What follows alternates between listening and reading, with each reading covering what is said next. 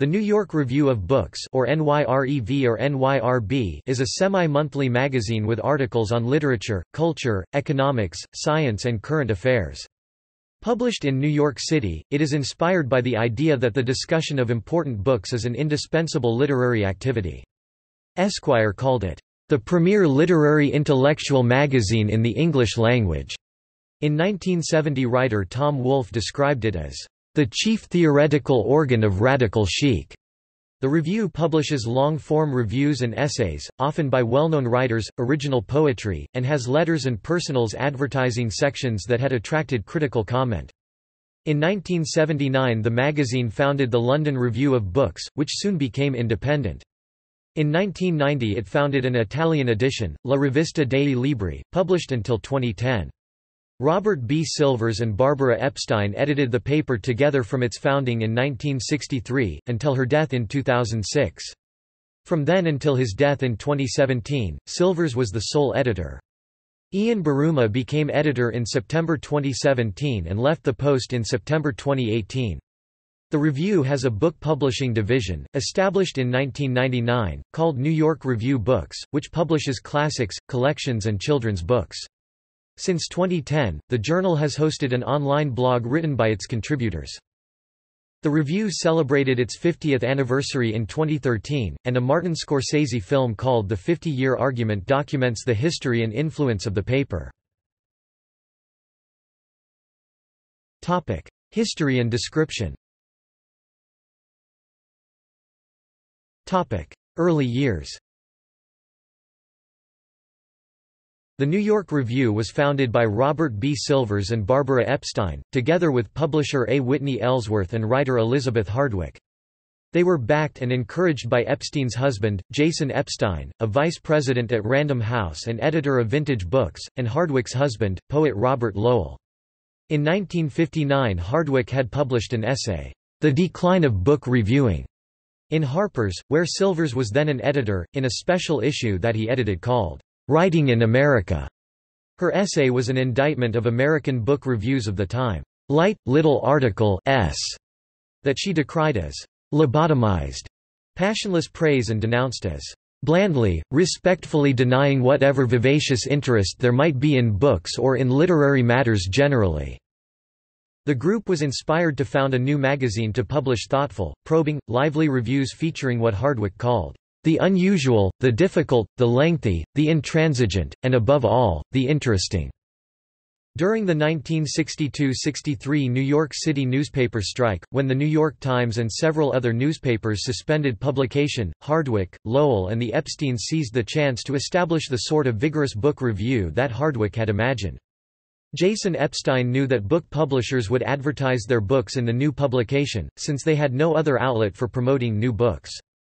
The group turned to the Epstein's friend Silvers, who had been an editor at the Paris Review and was still at Harper's, to edit the publication, and Silvers asked Barbara Epstein to co-edit with him.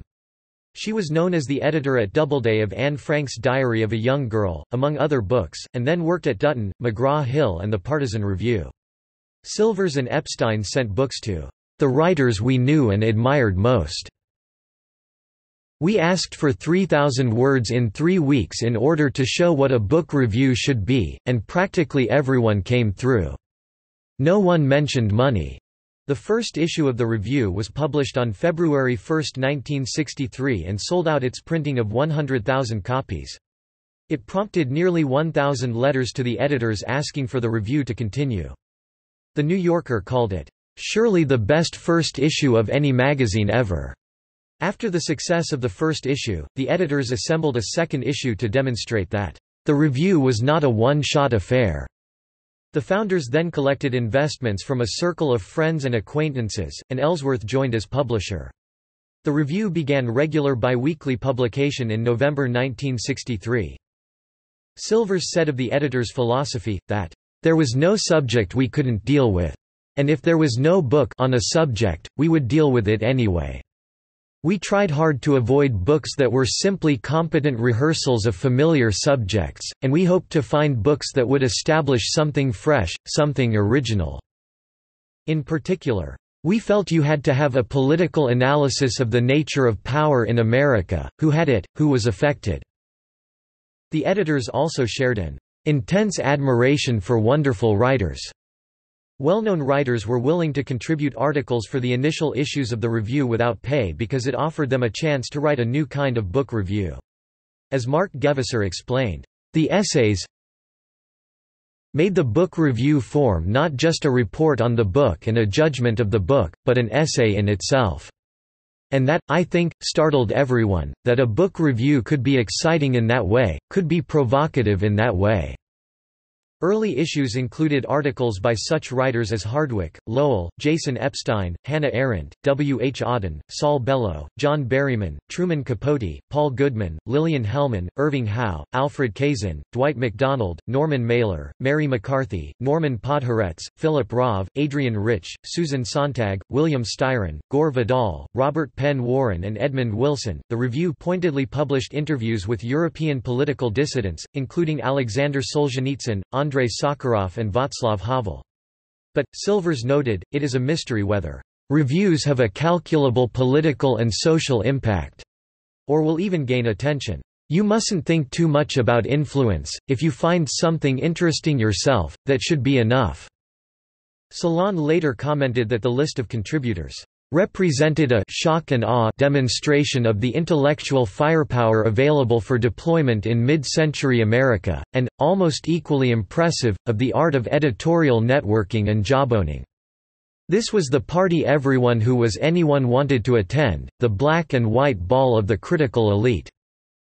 The review announced the arrival of a particular sensibility, the engaged, literary, post-war progressive intellectual, who was concerned with civil rights and feminism as well as fiction and poetry and theater.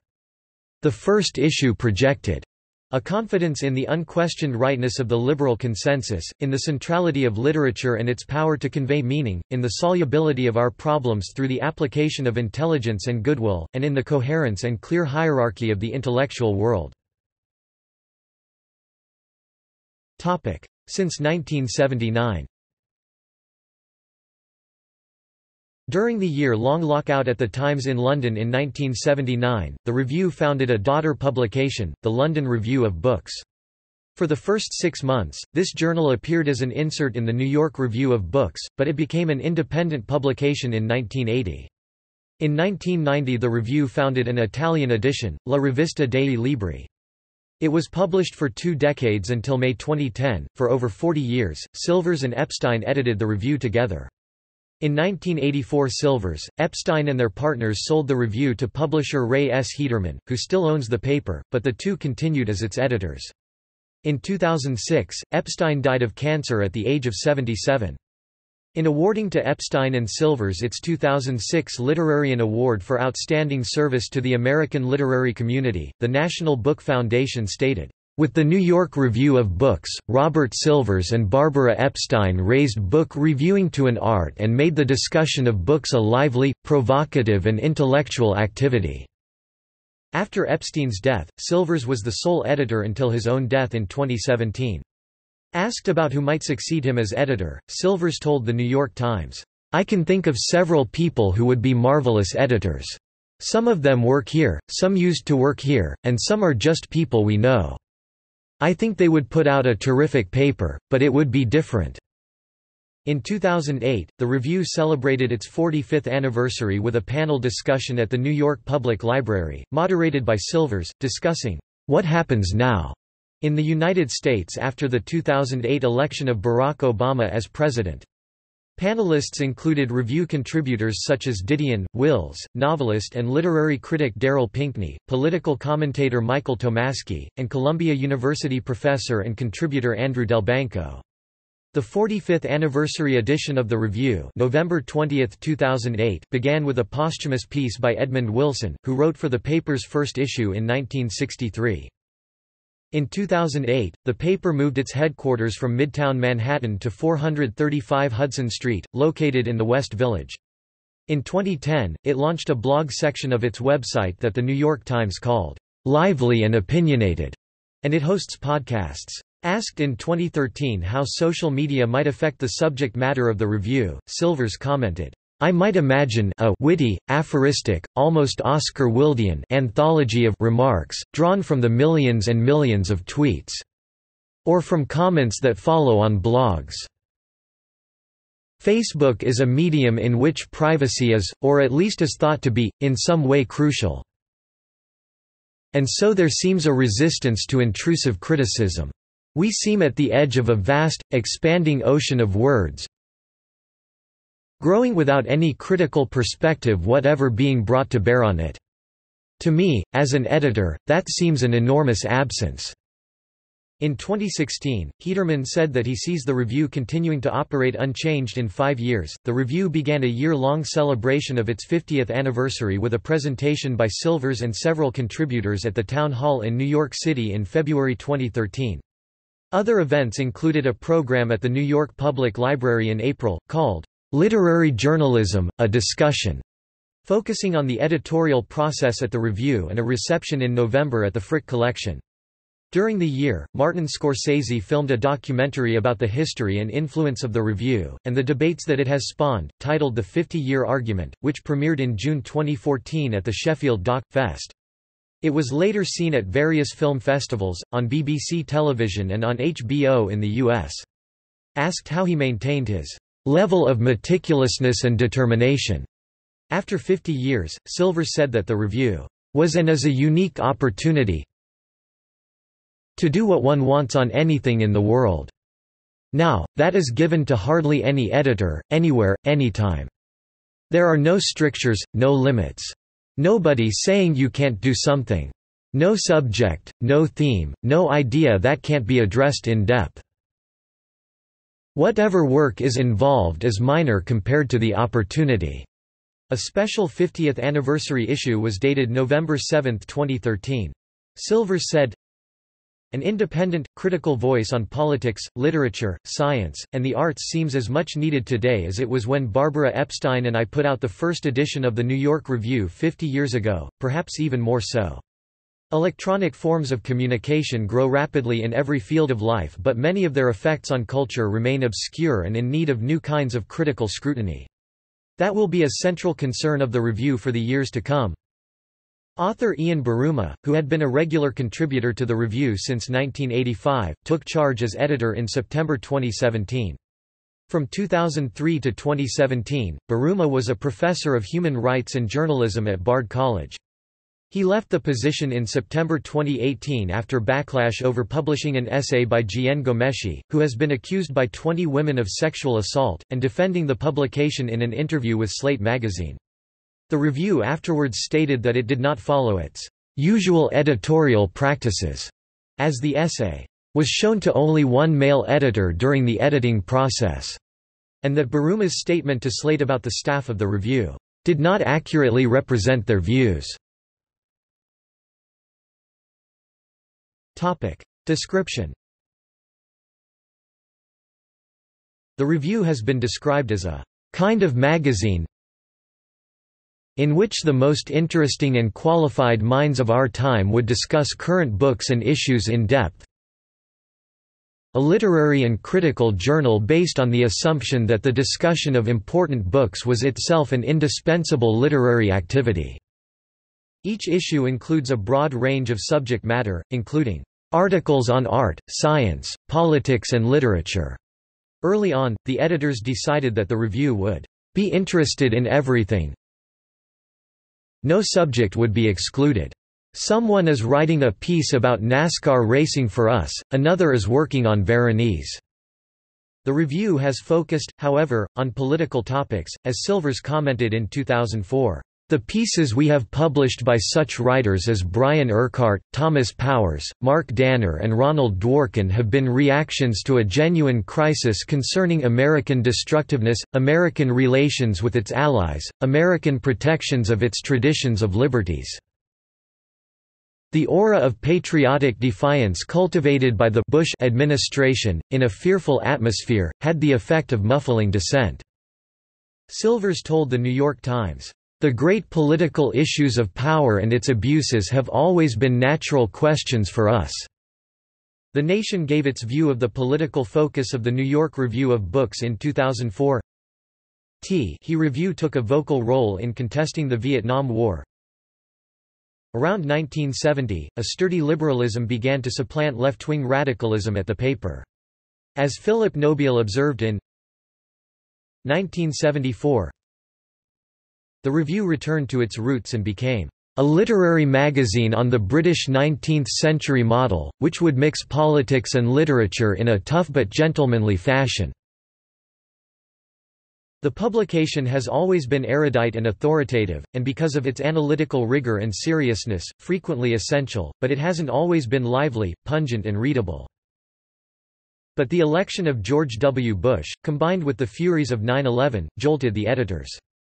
Since 2001, the review's temperature has risen and its political outlook has sharpened. Prominent writers for the review charged into battle not only against the White House but against the lethargic press corps and the liberal hawk intellectuals. In stark contrast to The New Yorker or The New York Times Magazine, the review opposed the Iraq War in a voice that was remarkably consistent and unified.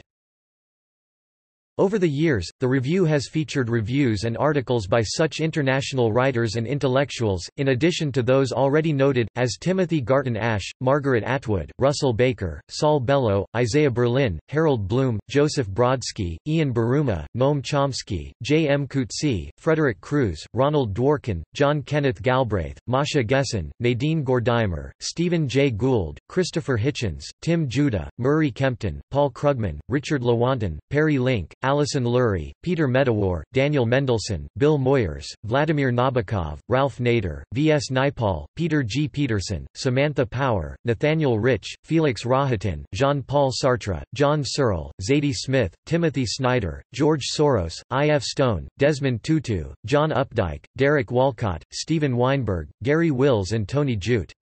According to the National Book Foundation, from Mary McCarthy and Edmund Wilson to Gore Vidal and Joan Didion, the New York Review of Books has consistently employed the liveliest minds in America to think about, write about, and debate books and the issues they raise. The review also devotes space in most issues to poetry, and has featured the work of such poets as Robert Lowell, John Berryman, Ted Hughes, John Ashbery, Richard Wilbur, Seamus Heaney, Octavio Paz, and Czeslaw Miłosz. For writers, the depth of the articles, and the quality of the people writing for it, has made a review byline a resume definer. If one wishes to be thought of as a certain type of writer, of heft, style and a certain gravitas, a review byline is pretty much the gold standard. In editing a piece, Silvers said that he asked himself, if the point in any sentence could be clearer, while also respecting the writer's voice and tone. You have to listen carefully to the tone of the writer's prose and try to adapt to it, but only up to a point. No change was made without the writer's permission. Writers deserve the final word about their prose. In addition to domestic matters, the review covers issues of international concern.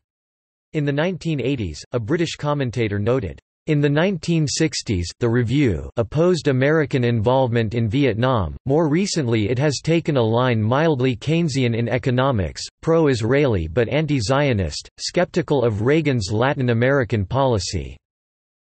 The British newspaper The Independent has described the Review as the only mainstream American publication to speak out consistently against the war in Iraq. On Middle East coverage, Silvers said, any serious criticism of Israeli policy will be seen by some as heresy, a form of betrayal. M.U.C.H. of what we've published has come from some of the most respected and brilliant Israeli writers. Amos Elon, Avishai Margalit, David Grossman, David Shulman, among them. What emerges from them is a sense that occupying land and people year after year can only lead to a sad and bad result. Caricaturist David Levine illustrated the New York Review of Books from 1963 to 2007, giving the paper a distinctive visual image. Levine died in 2009. John Updike, whom Levine drew many times, wrote, Besides offering us the delight of recognition, his drawings comfort us, in an exacerbated and potentially desperate age, with the sense of a watching presence, an eye informed by an intelligence that has not panicked, a comic art ready to encapsulate the latest apparitions of publicity as well as those historical devils who haunt our unease. Levine contributed more than 3,800 pen and ink caricatures of famous writers, artists and politicians for the publication. Silvers said, David combined acute political commentary with a certain kind of joke about the person. He was immensely sensitive to the smallest details, people's shoulders, their feet, their elbows. He was able to find character in these details. The New York Times described Levine's illustrations as macro-headed, somberly expressive, astringently probing and hardly ever flattering caricatures of intellectuals and athletes, politicians and potentates that were Replete with exaggeratedly bad haircuts, five o'clock shadows, ill-conceived mustaches and other grooming foibles to make the famous seem peculiar looking in order to take them down a peg. In later years, illustrators for the review included James Ferguson of Financial Times. The Washington Post described the lively literary disputes conducted in the letters to the editor column of the review as the closest thing the intellectual world has to bare knuckle boxing. In addition to reviews, interviews and articles, the paper features extensive advertising from publishers promoting newly published books. It also includes a popular personals section that share a cultivated writing style with its articles. One Lonely Heart, author Jane Juska, documented the 63 replies to her personal ad in the review with a 2003 memoir, A Round-Heeled Woman, that became a West End play. In The Washington Post, Matt Schudel called the personal ads, sometimes laughably highbrow, and recalled that they were spoofed by Woody Allen in the movie Annie Hall. Several of the magazine's editorial assistants have become prominent in journalism, academia and literature, including Jean Strouse, Deborah Eisenberg, Mark Danner and A. O. Scott. Another former intern and a contributor to the review, author Claire Messud, said, They're incredibly generous about taking the time to go through things.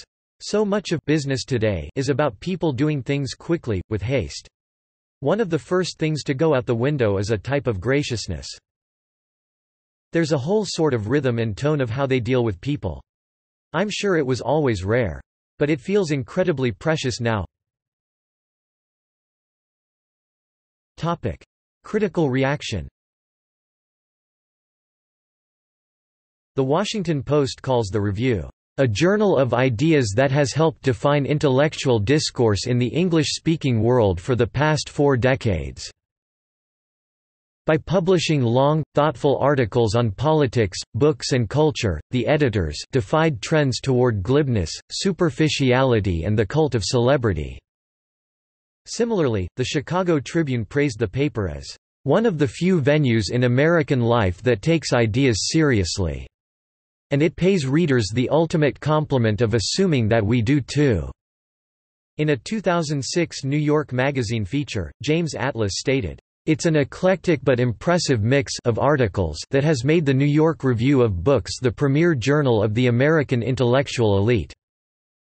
The Atlantic commented in 2011 that the review is written with a freshness of perspective, and much of it shapes our most sophisticated public discourse.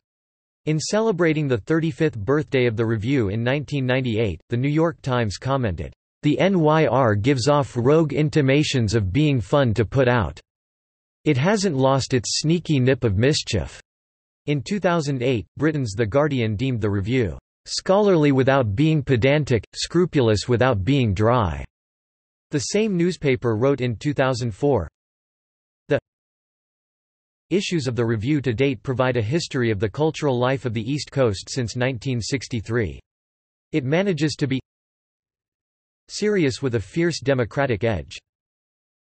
It is one of the last places in the English-speaking world that will publish long essays, and possibly the very last to combine academic rigor, even the letters to the editor are footnoted, with great clarity of language. In New York Magazine, in February 2011, Oliver Sacks stated that the review is one of the great institutions of intellectual life here or anywhere. In 2012, The New York Times described the review as elegant, well-mannered, immensely learned, a little formal at times, obsessive about clarity and factual correctness and passionately interested in human rights and the way governments violate them." Known throughout its history as a left-liberal journal, what Tom Wolfe called, "...the chief theoretical organ of radical chic." The review has, perhaps, had its most effective voice in wartime. According to a 2004 feature in The Nation, one suspects they yearn for the day when they can return to their normal publishing routine, that gentlemanly pastiche of philosophy, art, classical music, photography, German and Russian history, East European politics, literary fiction, unencumbered by political duties of a confrontational or oppositional nature. That day has not yet arrived. If and when it does, let it be said that the editors met the challenges of the post-9-11 era in a way that most other leading American publications did not, and that the New York Review of Books was there when we needed it most. Sometimes accused of insularity, the review has been called the New York Review of each other's books. Philip Nobile expressed a mordant criticism along these lines in his book Intellectual Skywriting, Literary Politics and the New York Review of Books. The Guardian characterized such accusations as sour grapes. Philip Lopate commented, in 2017, that Silvers regarded his contributors as worthy authors, and so why punish them by neglecting their latest work?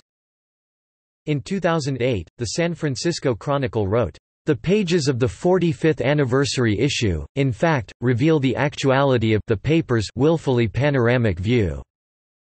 The Washington Post called the 2013 50th, anniversary issue, "...gaudy with intellectual firepower. Four Nobel laureates have bylines.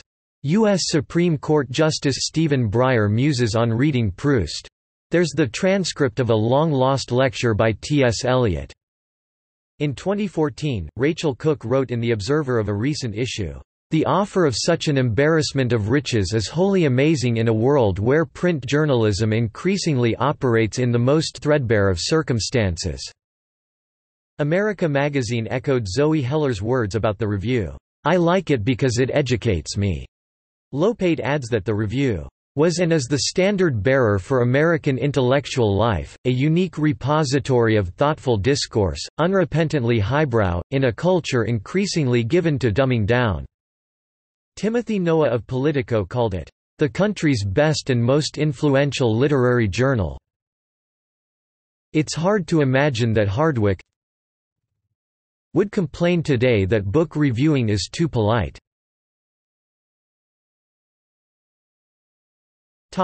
Book publishing arm